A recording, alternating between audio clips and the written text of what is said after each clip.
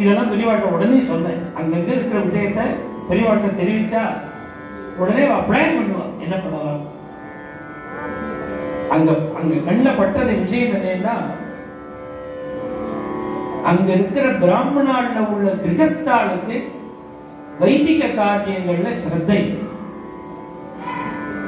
அத்தியனம் முடிச்சுட்டு வந்தா ஏதாவது ஸ்மார்த்த காரியக்கிரமங்கள் இருந்தா தானே அவளோட ஜீவனம் நடக்கும் ஒரு ஆயுஷ்யம் பண்ணணும் உபநயனம் விவாதம் சஷ்டத்தை பூர்த்தி சிராத்தாதிகள். இது மாதிரி பிதர்காரியம் இதுல எல்லாம் சிரத்த இருந்து பத்து வைதிகால கூப்பிட்டு தட்சிணை கொடுத்தா தானே அவளுக்கு பிரயோஜனம் இருக்கும் அங்கே இதெல்லாம் எதுவுமே நடக்கிறது இல்லை. அப்பதான் தோழில் நடக்குது மெட்ராஸ்ல பம்பாயில் இருக்கிறவாடெல்லாம் பிடிச்சி கொண்டு ஒரிசால ஒரு மாசம் வைக்கணும். இங்க இருக்கிற பரிஸ்திதியை பார்க்கணும். பார்த்த அப்புறம் தான் தான் தான் எப்படி இருக்கா மெட்ராஸ்லன்னு புரியும். மெட்ராஸ் என்ன கும்பகோணமே இப்படிதான் இருக்கு அது அதுவும் அத்தியனம் முடிச்சுட்டு வெளியில வந்தா மாசம் பிப்டி தௌசண்ட் ஐம்பதாயிரம் ரூபாய் மினிமம் கிடைக்கிறது. இவ எல்லாருக்கும் நிலவரம் புரியல. ஒரிசால கொண்டு உடனே ஒரு மாசம். அந்த கணாந்த அத்தியனம் பண்ணிட்டு பன்னெண்டாயிரம் ரூபாய் வருமானம். கணாந்த அத்தியனம் பண்ணிருக்க பன்னெண்டாயிரம் ரூபாய் தான் மாசம் வருமானம் ஒரிசால கஷ்டம் இப்போ அவளை வந்து சிக்ஷைக்காக சொல்லல. நம்ம தமிழ்நாடு கிரகஸ்தாவை கொண்டாடணும். அதான் விஷயம். வைதிகர் கொண்டாடுறது இல்லை தமிழ்நாட்டில் உள்ள கிரகஸ்தாவுக்கு எவ்வளவு வைதிக சொந்த இவாளால தான் வைதிகாலுக்கே வருமானம். இந்த இந்த மைனஸ் பாயிண்ட் ஒரிசா கிரகஸ்தனுக்கு தர்மத்தில் சிரத்த இல்லாததுனால வைதிகாலுக்கு பிரயோஜனம் இல்லாமல் இருக்கு. அதனால ஒவ்வொரு வைதிகாலும் கிரகஸ்தன் க்ஷேமமா இருக்கணும்னு நினைக்கிறேன் ஏன்னா அவளால நமக்கு புரியல எத்தனை நாளா? இங்க அங்க வந்து பார்த்தா தான் இந்த விடயத்தை தெளிவாட்டு சொன்னேன் இது வைதிக சிரமப்படுறதுக்கு காரணமே கிரகஸ்தனுக்கு வைதிக தர்மத்துல ஈடுபாடு இல்லை. அதை ஏற்படுத்தினாதான் இவாளுக்கு சௌகரியம் வரும்.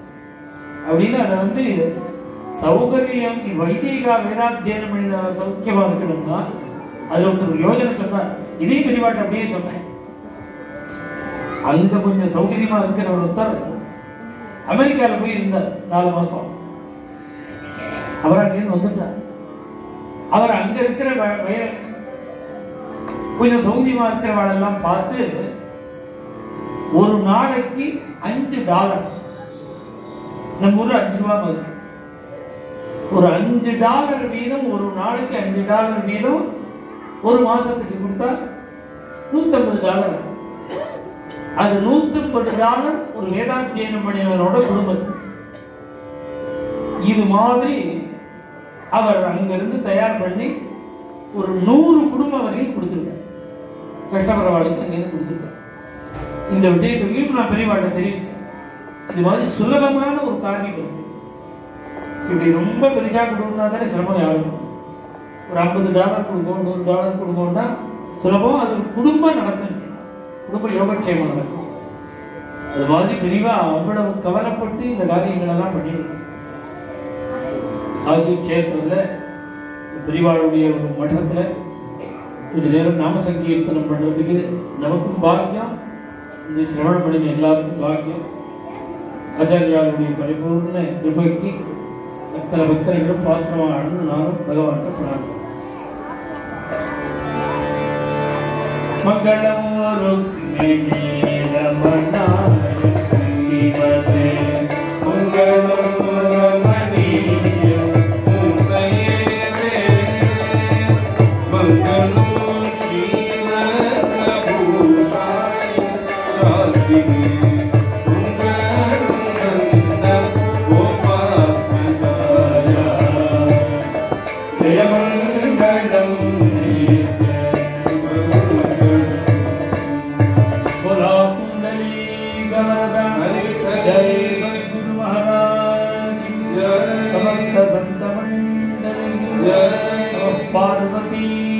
हर हर